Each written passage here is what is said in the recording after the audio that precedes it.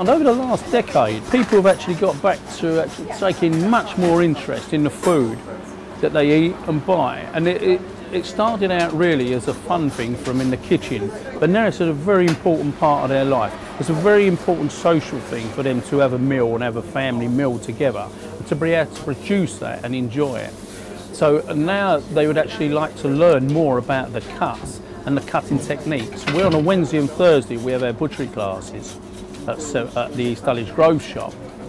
And everyone there comes away with a particular knife skill, which sounds irrelevant, but that knife skill will be passed on to their family, and their children. This knife skill they can use, you know, in fish, in vegetables, anything they like.